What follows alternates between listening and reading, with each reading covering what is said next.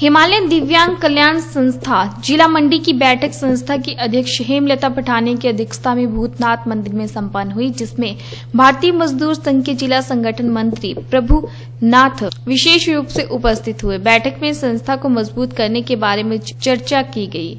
इस चर्चा के उपरांत संगठन का विस्तार करने पर भी निर्णय लिया गया। मंडी जिला के सभी तहसील स्तरीय चुनाव मार्च तक करवाए जाएँगे।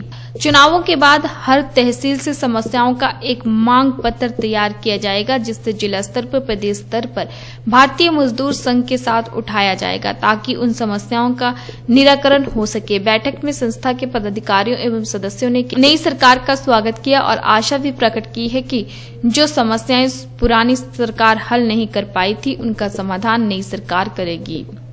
और आज जो है हमारी यहाँ पे मासिक बैठक हुई। इस बैठक में कार्यकारिणी के सदस्य व जितनी भी कार्यकारिणी है वह विकलांग अलग अलग तहसीलों से जो आए हुए हैं, उनके साथ साथ हमारे जो है विशेष रूप से भारतीय मजदूर संघ के संगठन मंत्री भी यहाँ पे मौजूद हैं और इन्होंने जो है हमारा मार्गदर्शन किया और बैठक में एक निर्णय लिया गया है कि तहसील स्तर पर जो है पूरे पूरे मंडी जिला में जो है जो कार्यकारिणी का गठन किया जाएगा।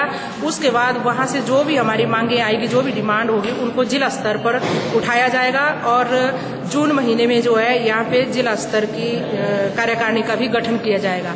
अब मार्च इकतीस तक जो है हम पूरी तहसीलों को जो है कवर करेंगे और कार्यकारिणी का गठन करेंगे और आज हमारी जो है विशेष चर्चा इसी मुद्दे पे हुई।